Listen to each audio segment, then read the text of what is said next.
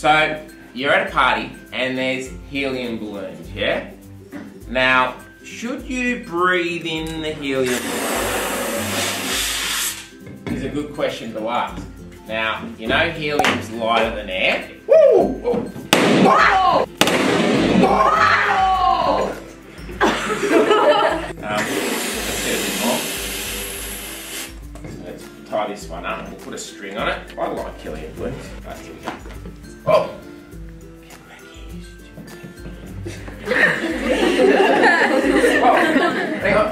Ah, uh, yeah, it's like having a little pet. Now, helium gas is actually a pretty scarce resource. Helium gas is produced by the radioactive decay of um, uh, elements under the ground. It gets trapped, gets trapped at the top of an oil well, right?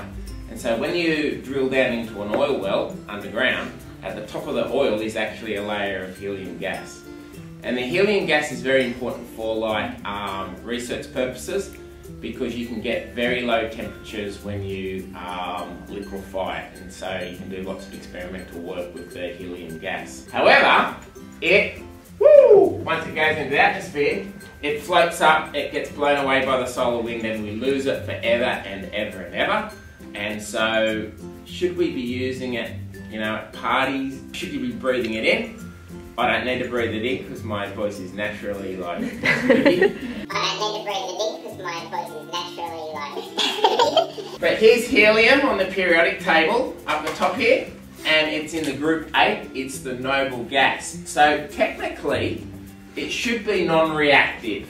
Okay, so let's see whether it's non-reactive. Now this will obviously pop the balloon, but what will the gas do? Oh!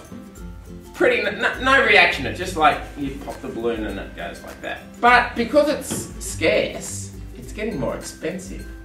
And so there's some unscrupulous companies doing something a bit different.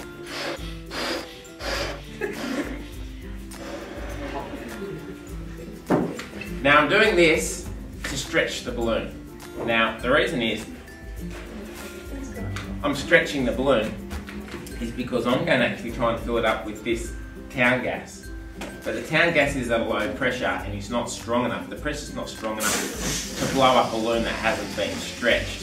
So now that it's stretched, you can sort of see that it's like a bit easier to blow up. So here we go. Here it goes. I'm filling up this balloon with gas that we use for our Bunsen burner. Now, we know that that gas is flammable, yeah? But what people don't realise is that it's lighter than air as well. And virtually free. So how do you know that that gas at the party is not like town gas? And worse still, what would happen if you were to breathe it? Are you ready?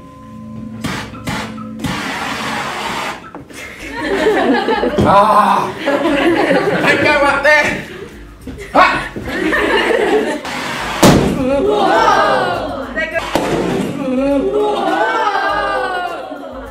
So I recommend that you don't breathe in the gas from a what you think is a helium balloon because it could be a flammable poisonous gas that will kill you. Thanks for joining me today. Make science fun. Hit that, whatever that is, and subscribe button.